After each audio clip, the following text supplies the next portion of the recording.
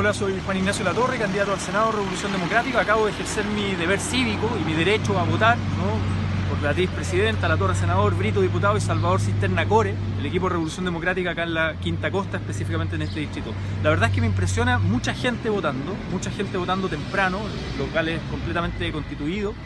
Eh, ya tenemos los primeros resultados de las mesas en el extranjero, Beatriz Sánchez ganando en muchas mesas en el extranjero, lo cual puede ser una señal de esperanza para el día de hoy. Y nada, muy contento con, con, Yo percibo que hay un ambiente de interés de la ciudadanía por participar, a diferencia de lo que fueron las eh, primarias, donde no participó tanta gente. Yo creo que ahora sí eh, va a participar mucha gente y eso es muy bueno para la democracia porque genera incertidumbre hasta el final. Mientras más gente vota, mientras más gente vota, Beatriz Sánchez tiene posibilidad de pasar a segunda vuelta y, y podemos también renovar el Parlamento, por lo tanto eso genera incertidumbre en la democracia, para que los mismos de siempre no crean que tienen todo asegurado. Yo es primera vez que postulo, soy una carta nueva al Parlamento, invito a la, joven además, invito a la gente también a, a informarse bien y a elegir eh, por alternativas a los mismos de siempre que han llevado mucho tiempo gobernando el país.